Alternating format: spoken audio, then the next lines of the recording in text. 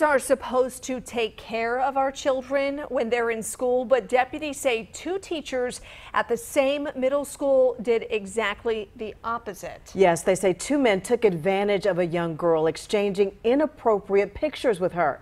Channel 9's Blaine Tollison spoke to her family. They're shocked to learn that two teachers are now charged in this.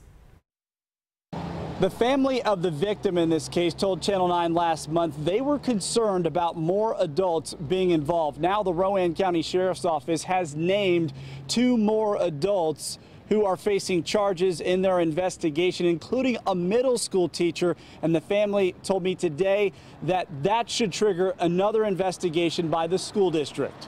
Three men are facing charges for sex offenses involving a student at West Rowan Middle School. All of them are charged with exploitation of a minor and indecent liberties with a child. Justin Avery and Ethan Gross were teachers at the school. A family member of the victim, who we're not identifying, told me over the phone they're angry but glad something is being done. But we also feel a little bit more um, relief um, to know that the truth is coming out now um, and they're doing everything they can to get justice.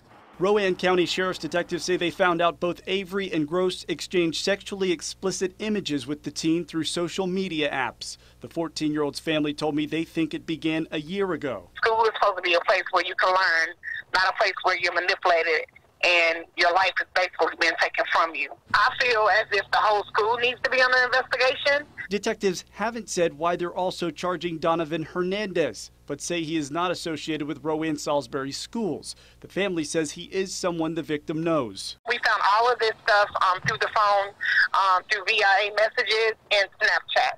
The family says the victim didn't have a phone of her own, but got access to one. They say she is getting therapy and they hope their family gets justice. Justice will be served. If that means having to miss work, um, quit my job, um, whatever, whatever the case may be, um, we will make sure justice is served. So far, the Rowan County Sheriff's Office hasn't said if there are additional victims or suspects in this case. Back to you. And we have called and emailed the Rowan Salisbury School District today to try to find out the status of both of those teachers and what, if any, action the district is taking tonight.